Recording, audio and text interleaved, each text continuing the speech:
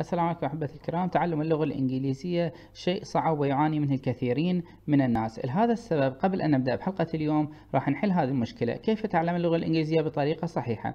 إذا كنت تعاني من تعلم اللغة الإنجليزية وتأخذ من عندك وقت طويل في التعلم إذا هناك مشكلة. يجب أن تغير أول شيء الطريقة اللي تتعلم بها. إذا ما نحصل على النتيجة المطلوبة يجب أن نستخدم أسلوب ثاني طريقة ثانية غير تقليدية لأن أغلب الطرق التقليدية تأخذ الكثير من الوقت. لهذا السبب قمت في قناة سفيرس أكاديمي بتصميم وإنتاج دروس مميزة جدا مناسبة للطريقة التي قمت بالبحث عنها وابتكارها ألا وهي طريقة الحفظ بالجمل. الحفظ بالجمل طريقة مهمة جدا ومميزة جدا وأعتقد أن قناة سفيرس أكاديمي هي القناة الأولى اللي قدمت هذه الطريقة وصممت جميع الدروس الموجودة في داخل القناة على أساس هذه الطريقة. إذا تريد تحصل على طريقة بإمكانك الدخول أسفل هذا الفيديو في مربع الوصف سوف أترك لك الرابط وأيضا بإمكانك الضغط على الزر الذي سوف يظهر بعد قليل هنا في الأعلى.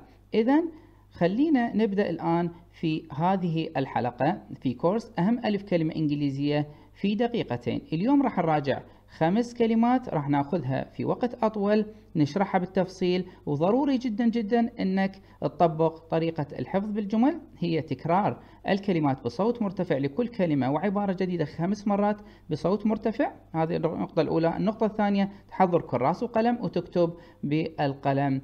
والدفتر لأن هذا الشيء فعال جدا جدا في تعلم اللغة الإنجليزية. إذا استعد من هذه اللحظة ركز حتى تحفظ أكبر كمية من المعلومات في هذه الحلقة. أيضا اضغط على like واشترك في القناة وفعل زر الجرس حتى تحصل على جميع الدروس. And now let's begin with today's lesson.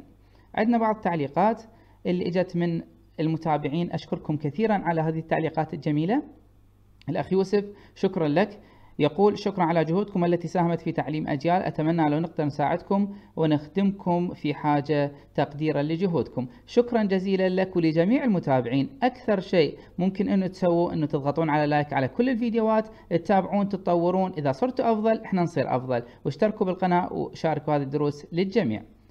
أم وسام أيضا تقول جزاك الله خيرا أستاذنا الفاضل. حقا فيديوهات رائعة ألف كلمة إنجليزية في دقيقتين. بارك الله بك. آمين. وجعل الله في ميزان حسناتك. شكرا جزيلا لك أم سام ولجميع المتابعين وشكرا لك أنت أيضا لأنك تتابع هذه الحلقة لأنك إنسان مميز وتريد تتطور وتصير أفضل. إذا هذه بعض التعليقات الأخرى. هذا الكورس كورس مهم جدا. أنصحك أن تتابعه وتتعلم أكبر كمية من المعلومات. خلينا الآن نبدأ في الكلمات اللي عندنا. ركز جيدا من الآن. Concern concern. اهتمام تأتي بمعنى قلق أيضا شأن أو هم أو عناية. إذا كلمة concern اقرأ معي. concern concern. أهم مرادفات كلمة concern anxiety worry worry. Attention attention اهتمام. Importance importance أهمية. إذا هذه المرادفات خلينا ناخذ أمثلة حتى نتعلم كيف نستخدم كلمة concern. وركز جيدا لأن راح يكون عندنا اختبار. في نهاية الحلقة أيضا أحفظ أكبر كمية من المعلومات. اقرأ معي. The story concerns a friend of mine. The story concerns a friend of mine. القصة تخص صديقا لي. The story concerns a friend of mine. القصة تخص صديقا لي. اقرأ معي The story concerns a friend of mine ناخذ المثال الثاني You must not concern yourself about me لا يجب أن تهتم بي You must not concern yourself about me You must not concern yourself about me You must not concern yourself about me وهذه الطريقة اللي قاعد أسويها الآن أكرر عليك العبارة عدة مرات حتى تحفظها وتدخل في مسامعك وتخزن في ذاكرتك. هدفنا نحفظ 90% من المعلومات من أول مرة. لهذا السبب التكرار مهم جدا باللفظ الصحيح. إذا you must not concern yourself about me. ناخذ الكلمة اللي بعدها. Condition condition حالة شرط أو ظرف. Condition condition. Case مرادفاتها case. situation status position position إذن condition condition ناخذ أمثلة على كلمة condition حتى نتعلم استخدامها The bridge is in an extremely dangerous condition The bridge الجسر The bridge bridge bridge is in is in an extremely extremely للغاية جدا extremely dangerous dangerous خطير dangerous extremely dangerous condition الجسر في حالة خطيرة للغاية the bridge is in extremely dangerous condition the bridge is in an extremely dangerous condition She is in a stable condition هي في حالة مستقرة She is in a stable condition ركز معي جيدا She is in a stable condition She is in a stable condition خلصت الكلمة 157 كلمة 158 وبعد عندنا ثلاث كلمات فقط استمر للأخير واحفظ جيدا conference conference مؤتمر اتحاد تداول conference conference congress convention circulation إذا هذه أهم مرادفات كلمة conference نأخذ أمثلة على كلمة conference he gathered he gathered هو جمع all the men all the men جميع الرجال around around the table for a conference he gathered all the men around the table for a conference جمع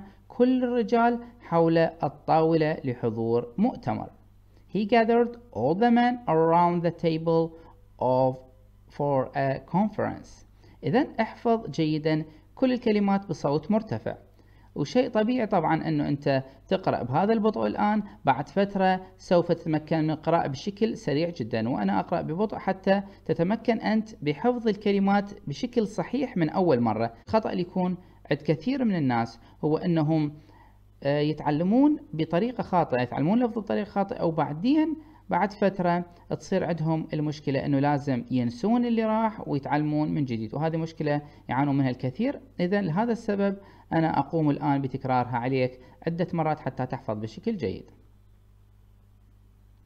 They had a family conference. They had a family conference. They had a family conference. كان لديهم مؤتمر عائلي. Congress Congress مؤتمر لقاء اجتماع. Congress Congress Conference Seminar Appointment هذه أهم مرادفات كلمة Congress اللي هو مؤتمر أو لقاء واجتماع Conference اللي مرت علينا قبل قليل Seminar Appointment المثال على كلمة Congress An International Congress of Mathematicians An International Congress of Mathematicians مؤتمر دولي لعلماء الرياضيات An International عالمي Congress of Mathematicians The National Congress of American Indians The National Congress of American Indians المؤتمر الوطني للهنود الأمريكيين أما الكلمة الأخيرة بهذه الحلقة هي كلمة consider. consider كلمة مهمة جدا باللغة الإنجليزية. يجب أن تتعلمها بالشكل الصحيح. احفظ مرادفاتها أيضا. consider يعتبر فكر أو اعتبر أو رأى. consider يعتبر consider. أهم مرادفاتها believe. believe. believe. think. think. speculate. speculate. speculate.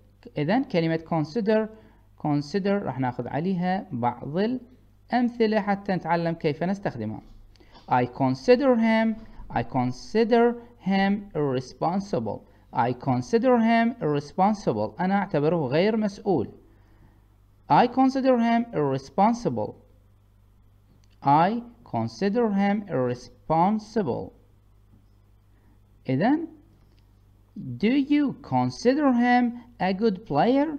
Do you consider him a good player? هل تعتبره لاعب جيد؟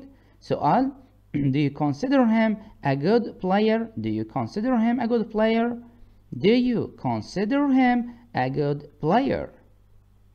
شكرا لك على المتابعة الآن انتهينا من هذه الحلقة مهم جدا أن تجري الاختبار. اختبارك هو الآن هو أن تأخذ الكلمات الخمسة اللي مرت علينا بهذه الحلقة وتكون على كل كلمة. من هذه الكلمات جملة مفيدة وتكتبها بالتعليق ضروري جدا حتى تستفاد منها أنت ويستفاد منها الآخرون. ولا تنسى تعلم طريقة الحفظ بالجمل ألا وهي طريقة ممتازة وفعالة جدا بتعلم اللغة الإنجليزية وكما قلت لك في البداية إذا كنت تعاني من تعلم اللغة الإنجليزية ولا تحصل على النتيجة المطلوبة يجب عليك تغيير أسلوب وطريقة التعلم حتى تتعلم بشكل أسرع وفعال وتستثمر وقتك بالشكل الصحيح. شكرا لك على المتابعة. لا تنسى الآن الضغط على إعجاب واشترك في القناة وفعل زر الجرس حتى تحصل على جميع الدروس القادمة إن شاء الله. شكرا لكم على المتابعة ولا تنسوني من صالح دعاكم.